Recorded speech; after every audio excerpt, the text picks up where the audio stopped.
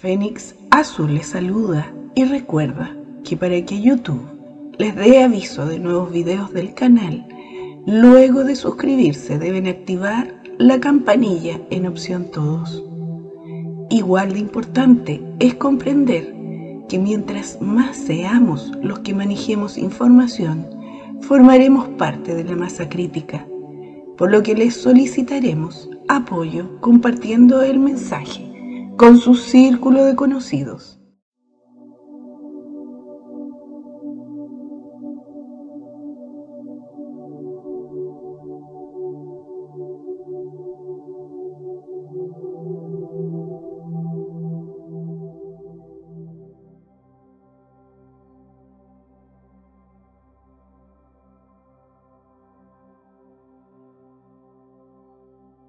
Recientemente nuestro planeta cambió hacia la ley dimensional del principio mental del alma, de servicio a los demás, que es una frecuencia de la matriz del alma de conciencia grupal.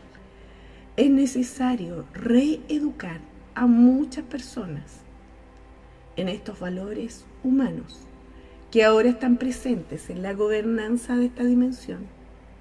El humanismo es la conducta de servicio a los demás, que tiene capacidad de sentir empatía y compasión por los demás y tiene como objetivo beneficiar a otra persona, a otros grupos o al planeta. Por el contrario, el egoísmo es un comportamiento que se lleva a cabo para beneficio personal o servicio a uno mismo. Para recuperar la comprensión de los valores humanitarios debemos aprender a tener empatía y compasión. La empatía implica comprender los sentimientos y la capacidad de sentir los estados emocionales de los demás. Entonces, la forma en que se caracterizan las emociones en la experiencia personal de uno es cómo se caracterizarán las emociones de otros que tienen experiencias similares. La capacidad de imaginarse uno mismo como otra persona, de estar en su posición y poder sentir lo que puede estar sintiendo en esas circunstancias, o sea, ponerse en el lugar de otra persona, es un proceso creativo que desarrolla la compasión. Somos el vuelo del Fénix con el video Mensaje Andromedano. La clave está en tu corazón. Desde el nivel genético de sus plantillas de forma cuerpo, la falta de empatía se debe a que no tienen un cuerpo emocional. Los cuerpos sensoriales y emocionales superiores son las funciones principales de la matriz del alma. Sin un cuerpo anímico, este tipo de ser desconectado, ya sea humano o no humano, no tiene cuerpo emocional, excepto para el funcionamiento inferior de la mente instintiva.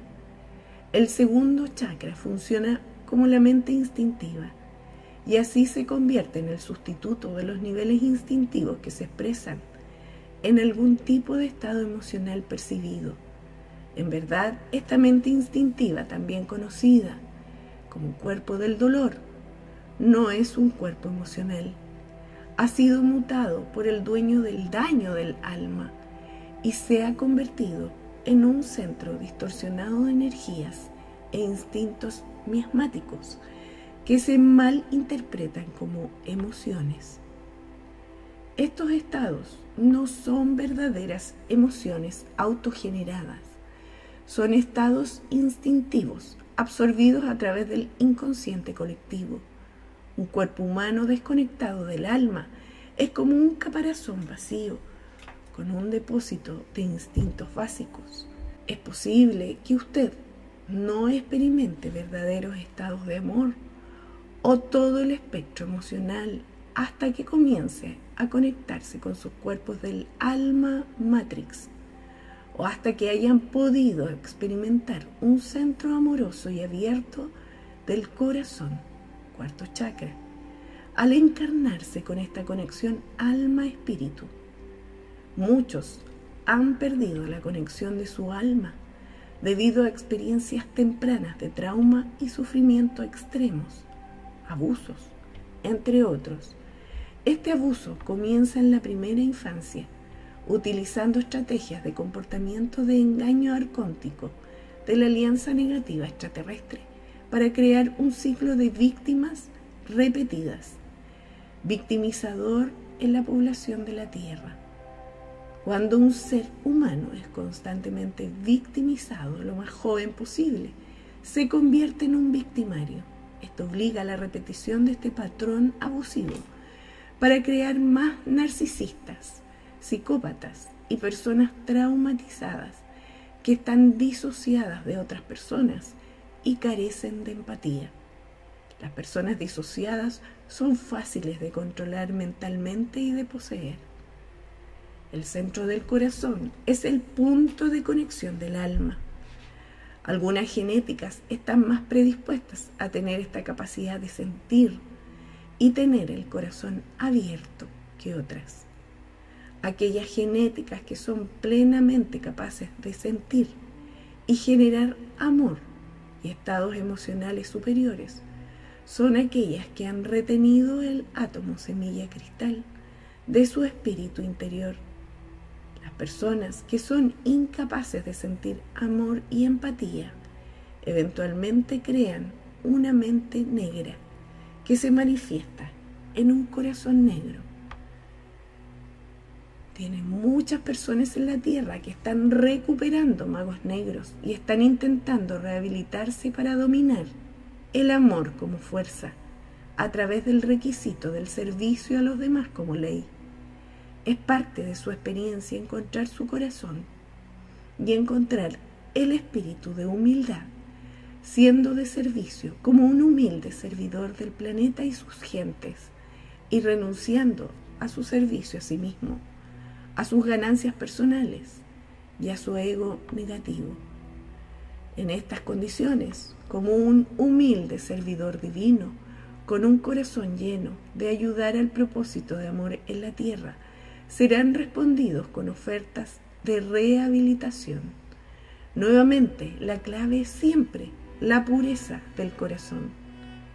Este hecho nunca será descarrilado, incluso cuando se enfrente a una increíble tecnología de inteligencia artificial y a la variedad de plantillas de conciencia de control mental de la Alianza Negativa Extraterrestre generadas a partir de esa tecnología.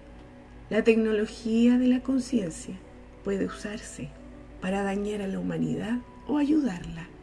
La elección está en cada uno de ustedes, en la pureza de la intención pasada en su corazón. Esto no se puede fingir, lo sea o no lo sea, la tecnología de la conciencia, sin dominar el amor de y para la divinidad y para todas las criaturas divinas, crea un corazón negro a través de abusos de poder. Un corazón negro es un chakra astral que está bloqueado, negro y con inversiones en curso, lo que se llama florecimiento oscuro. Entonces, ¿cuáles son algunos de los comportamientos y acciones que pueden manifestar un corazón negro, lo que lleva a su posterior floración oscura en un cuerpo personal, un cuerpo colectivo, un grupo espiritual o una situación comunitaria para que se infecte viralmente. Avaricia, desprecio por los demás, juicio, discriminación, creencias elitistas, ganancia personal del servicio a sí mismo como prioridad sobre el servicio al todo, a expensas de otros, intención de causar daño, uso de intimidación, amenazas, abuso de poder, miedos irracionales a la seguridad personal, que indica falta de confianza o falta de experiencia de conexión directa que promueve una conciencia de pobreza continua. Adicción por cualquier medio, drogas, alcohol, gula, sexo, cigarrillo, cualquier sustancia que permita que te controle habitualmente hasta convertirte en un adicto y ante la cual se pierde el control de los impulsos corporales.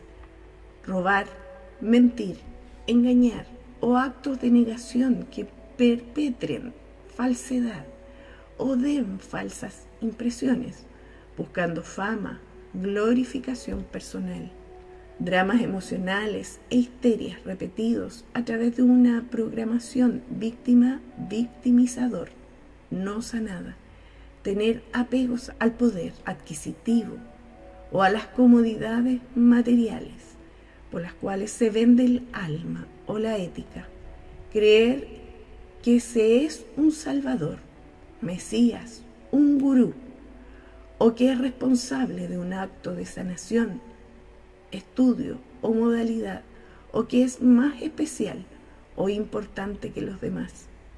Mantener apego a los objetos materiales 3D y a sus creaciones de cualquier manera que piense falsamente es el creador absoluto de estos objetos.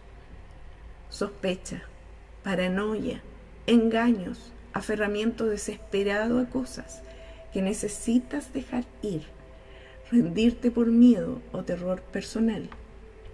Cualquier tipo de daño o abuso infringido a otro o a uno mismo, especialmente con intención ritualista, indignación o superioridad moral culpar al karma, a vidas pasadas, por acciones irresponsables en la vida actual, sin ser responsable de sus comportamientos. Propiedad intelectual de partes del cuerpo espiritual, intimidando y persiguiendo a otros que tengan este conocimiento, que pertenecen a todos, a las leyes universales y por lo tanto son de dominio público para todos los seres humanos. Mantener terror o miedo por uno mismo, por sus seres queridos, familiares, ansiedad y trauma omnipresentes que conducen a la disociación y a la falta de empatía. Orgullo. Hice todo este trabajo y necesito que me compensen por ello y me den crédito por todo lo que he hecho. O cuando dicen, estoy por encima de esto y soy mejor que estas personas. Los comportamientos traicioneros que provocan la caída. Abuso de poder y recursos confiados a través de mayordomía y liderazgo espiritual. Ningún recurso es propiedad. La propiedad y posesión de cosas materiales son una invención y una ilusión del materialismo 3D. Todas estas son señales de advertencia del ego negativo en el comportamiento que deben rehabilitarse de inmediato con ajustes de actitud. Si a menudo se encuentran expresando enojo, odio o falta de perdón a los demás, en un estrés severo y perdiendo el control, están en un estado mental peligroso, un estado de ánimo peligroso, es también una mente rígida y cerrada. El cambio comienza desde dentro. Identifique los comportamientos del engaño arcóntico y aplique los comportamientos contrarrestantes para transformar conductas mentalmente rígidas en comportamientos de mente abierta y espiritualmente saludables. El estudio del código moral impartir la verdad espiritual y vivir dentro de una espiritualidad clara es urgentemente necesario. Muchos abusos pasan fácilmente desapercibidos debido al pensamiento retorcido que hemos programado y que han llevado a cabo en la sociedad narcisista 3D. Este punto de control conductual es su responsabilidad personal. Y no importa cuán avanzada esté la plantilla de conciencia, si esta parte de las heridas del enojo no ha sido limpiada y curada, serán infectados y estas heridas serán utilizadas en su contra. Mientras más poder espiritual y de conciencia encarnan, más responsabilidad tienen de ser transparentes, honestos, alineados con la intención, el consentimiento y la autoridad del servicio a los demás. La cuestión es dar lo mejor de ustedes cada día No es necesario que tengan todas las respuestas. Con el objetivo del humanismo al servicio de una filosofía humanitaria, como la ley del uno, deben sacar al ego del asiento del conductor. Si no lo hacen, serán sometidos a un proceso de descenso hacia la creación de una mente negra y un corazón aún más negro. Deben dejar de prestar atención a los dogmas, la rigidez mental y el juicio del ego. Es en este espacio donde se aclara genuinamente su pauta mental. Aquellos de ustedes que son llamados a este conocimiento han sido llamados aquí para ayudar a apoyar la misión en la Tierra. Se les ha confiado mantener una mayor conciencia y aprender cómo ayudar a devolver la arquitectura planetaria a las manos humanas y de la conciencia cristal, permitiendo que su cuerpo sea una estructura de código abierto. El amor puro lo supera todo. Punto.